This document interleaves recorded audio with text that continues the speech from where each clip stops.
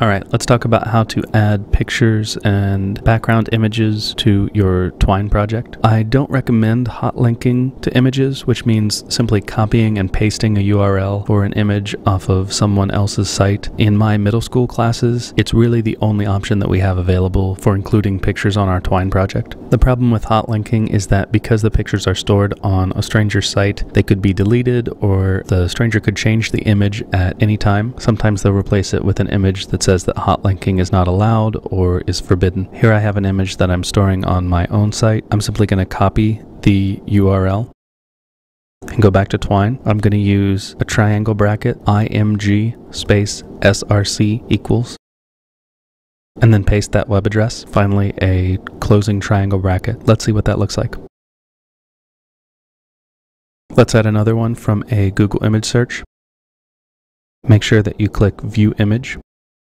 Now the exact same thing, I'm going to copy the address, img space src equals, and a closing triangle bracket.